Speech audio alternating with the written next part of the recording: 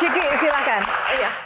Pak, di salah satu acara saya pernah sekilas mendengar Bapak mengisahkan tentang kalau nggak salah pesan terakhir dari almarhum bapaknya Pak Anies yang berkaitan juga tentang perjalanan politik Pak Anies. Kira-kira bisa diceritakan nggak Pak?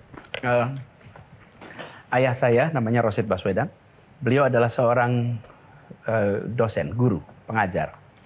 Dan beliau itu mengajar dari mulai tahun 64-65 sampai sekitar tahun uh, 90 ah maaf tahun 2005.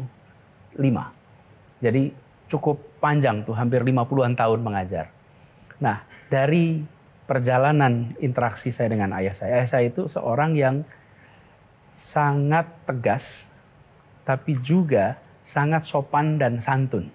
Dan beliau salah satu pendorong penting yang membuat saya punya aktivitas begitu banyak. Dan pernah satu ketika, nah ini yang kemudian menjadi nasihat terakhir beberapa hari sebelum wafat. Pada waktu itu, saya mendapat undangan untuk mengikuti sebuah proses politik. Lalu saya tanya pada ayah saya, pandangannya gimana? Beliau wafat eh, bulan September 2013.